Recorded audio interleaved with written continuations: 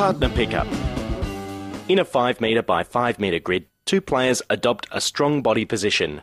When instructed, both players attempt to pick each other up so that their partner's feet are off the ground.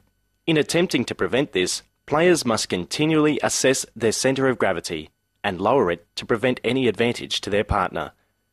Some coaching points to consider are maintain balance by widening feet position rather than narrowing, bend at both the knees and the hips, keep weight on the balls of feet, not heels, use dynamic hand and foot movements to resist and apply force.